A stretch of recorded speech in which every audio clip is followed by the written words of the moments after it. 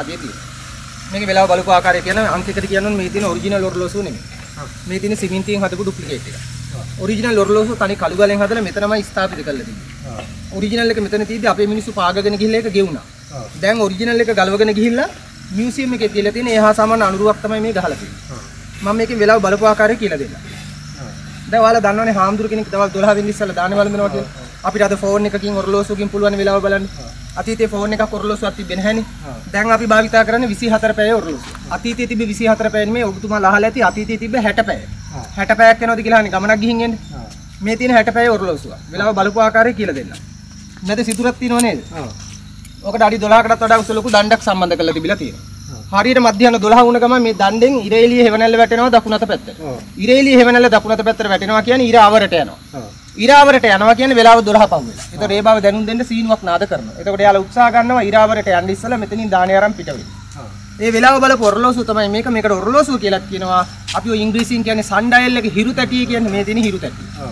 ඒතර මෙතනින් මේ පැත්තට වහලයක් තියෙනවා අතනින් අර පැත්තට වහලයක් තියෙනවා මැද කෑල්ලට වහලයක් නැහැ මේක ඕපන් ස්ටේජ් මොකද හිරු එළියෙන් වෙලාව බලන්න.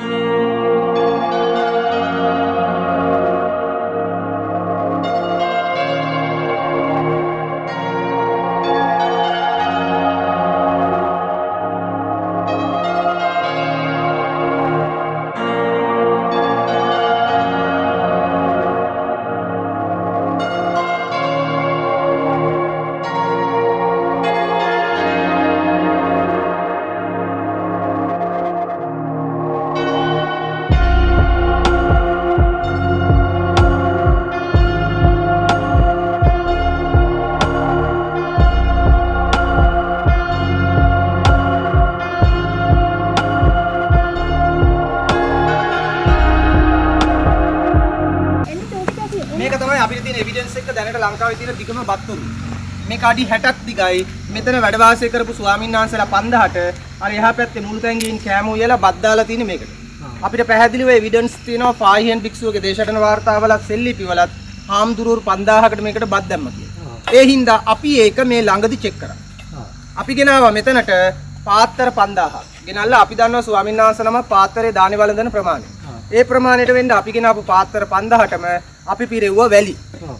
වැලි පුරවල මේ පාත්තර 5000ෙම වැලි දැම්ම මේ බත්තුරුවට. හරියටම පාත්තර 5000කම වැලි ඕනේ කටපිරේ. ඒතර ඒ තියෙන එවිඩන්ස් හරියට 100ට 100ක් නිවැරදි හාමුදුරුවෝ 5000කට බත් දැම්ම. ඊට වඩා වැදගත් දේ තමයි මේ බත්තුරුවේ ඇතුළට තඹ තහඩු ගහලා තිබිලා තියෙනවා. සුද්ධ පවිත්‍ර කරන්න ලේසියටයි බත්වල තියෙන රස්නේ ගතිය අඩු වෙන එක වළක්වා ගන්න.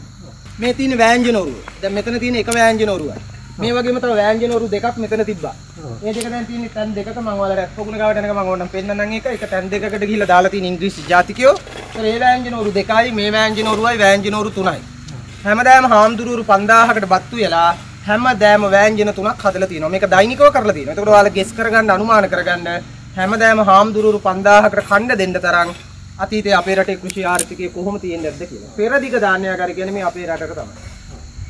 අතනින් බත් බෙදාගෙන අතනින් වෑංජන බෙදාගෙන මෙන්න මේ ආසනවල වාඩිලා තමයි යාලා දානේ අනුභව කරලා තියෙන්නේ. දැන් ඔබතුමාලට පොඩි ගැටලුවක් ඇති. කොහොමද මෙතන හාමුදුරුවෝ 5000ක් දානේ වැළඳුවේ කියලා. 5000කට ඊට මදිනේ. මහානකමේ ජේෂ්ඨත්වයක් තියෙනවා. ජේෂ්ඨත්වය ඉහළමයි විතරයි මෙතන දානේ අරන් තියෙන්නේ. අනිත් අය මෙතනින් දානේ බෙදාගෙන තම තමන්ගේ ආවාස කුටි වලට ගිහිල්ලා තමයි දානේ අනුභව කරලා තියෙන්නේ. මේකත් හොඳට මතක තියාගන්න.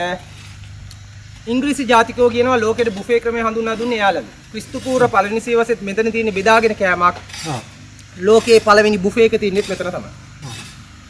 මෙතන කාමර දෙකයි අතන කාමර දෙකයි. ওই කාමර හතර තමයි මේකේ ගබඩා කාමර හතර. හාමුදුරුවෝ 5000කට දානේ උයන්න ඕන.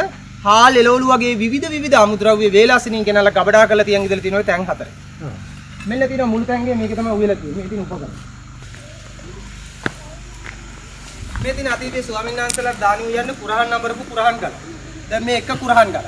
මේකේ උඩ කරකවන කෑලි මේ වගේ කුරහන් ගල්, හට්ටි මුට්ටි වලම් වගේ ගොඩාක් දේවල් හම්බෙලා තියෙන හම්බෙච්ච හැම දෙයක්ම මියුසියම් එකේ තියෙනවා බලන්න පුළුවන්. මෙන්න තියෙනවා වැදගත්ම එක මේ බලන්න.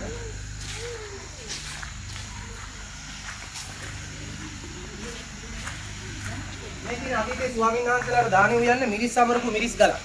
මේ මිරිස් ගල ගැන කිව යුතු වැදගත් දෙයක් තියෙනවා. මේක ෂේප් නේද? පොඩි අදහසක් ඇති මේ අඹරලා දන්නේ කිවිලා තියෙන කියලා මේ අඹරලා කිවිලා නෙමෙයි මේ තියෙන්නේ. මේ පිහිටි හැඩේ මේකේ තියෙනවා සරලම සරල ටෙක්නික් එකක්. දැන් මිස්ලාගේ ගෙවල් ඇතින මිරිස් ගල් දැකලා ඇතිනේ. ඒ මිරිස් ගල් ෆ්ලැට් නේ. ෆ්ලැට් මිරිස් ගල තුල අපි ආයාස දෙකක් දාන්න ඕනේ. ඒ තමයි තල්ලු කරන්න ඕනේ, ඇදලා ගන්න ඕනේ. දැන් මේ මිරිස් ගලේ තල්ලු කිරීම විතරයි කරන්න ඕනේ. ඔටෝ ගල පහලට එනවා. ආයාසය අඩුයි සරලයි. එකතු කරලා ගන්නත් ලේසි, හොදන්නත් ලේසි. සරලයි.